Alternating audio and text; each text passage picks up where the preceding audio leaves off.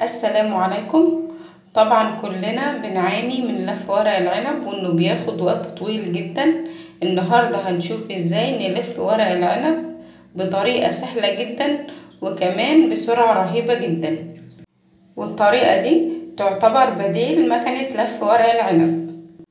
وكمان هنشوف إزاي نرص ورق العنب ونقلب الحلة ما نلاقيش ورق العنب لازق وكمان ينزل بنفس يعني ترتيب الحلة أو بنفس شكل الحلة اللي حطينا ورق العنب فيها. أتمنى تشتركوا في القناة وتعملوا لايك للفيديو وتفعلوا الجرس عشان توصلكوا كل الوصفات الجديدة. أول حاجة دي الخلطة اللي هنحشي بيها محشي ورق العنب. أنا عاملة طريقتها هحط لكم رابط الفيديو في الوصف تحت الفيديو ده. أنصحكم تشوفوها. طريقة فعلا لذيذة مش هتشوفوها تاني ولا تعرفوها تاني بشهادة ناس كتير جدا إنه أطعم خلطة محشي اتعملت هي بالطريقة دي. هنجيب كيس تلاجة عادي أي حجم ونحط فيه كمية من خلطة المحشي. أي كمية ممكن تكتروا وممكن تقللوا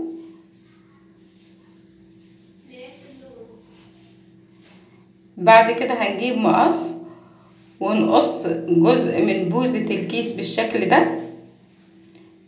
هنقص حتة صغيرة عشان ما تكونش واسعة. بعد كده هنجيب كيس تلاجة عادي ونحطه على الرخامة أو على صينية بالشكل ده.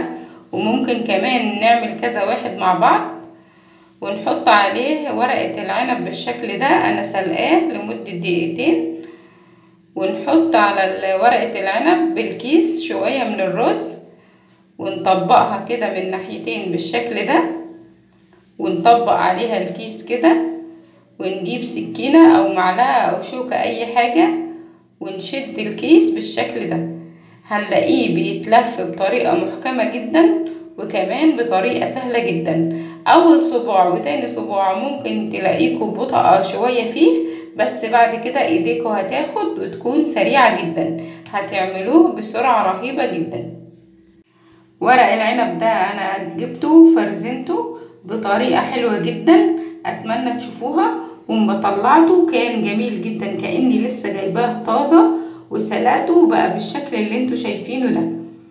هحط لكم رابط وصفة تخزين ورق العنب في الوصف برضو تحت الفيديو ده. اتمنى تشوفوها. زي ما أنتوا شايفين الطريقة سهلة جدا وكمان سريعة جدا. نيجي بقى نشوف إزاي هنرص ورق العنب بدون ما يلزق في الحلة.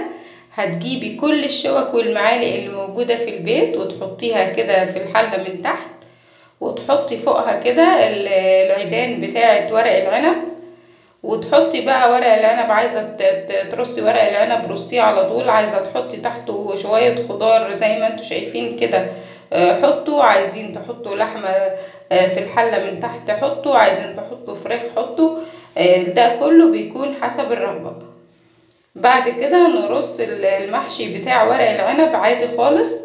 أول رصة بتكون كده بشكل عشوائي يدوب بس بنساوي السطح بتاعها عشان الخضار. بعد كده بنرصه بقى بطريقة دايرة عايزين ترصوه دايرة بترصوه عايزين ترصوه شوية بالعرض وشوية بالطول رصوه ده كله بيكون حسب الرغبة.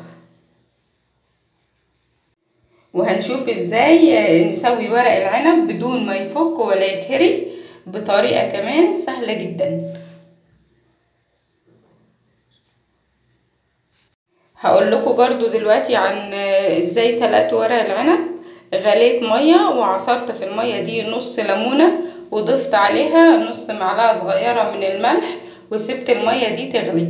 أول ما غليت خرجت ورق العنب من الفريزر على طول على الحلة وقلبته شوية بشوكة كده عشان أفرده من بعضه ومنه يتسلق ومنه يتغسل. بعد كده شلته من المية دي بعد حوالي دقيقتين فقط. بتكوني طبعا مجهزة مية في حلة كبيرة وتطلعيه من المية المغلية على المية العادية على طول وتفرقيه عن بعضه كده عشان يتغسل كويس. لأن ورق العنب بيكون فيه شوائب وتراب كتير.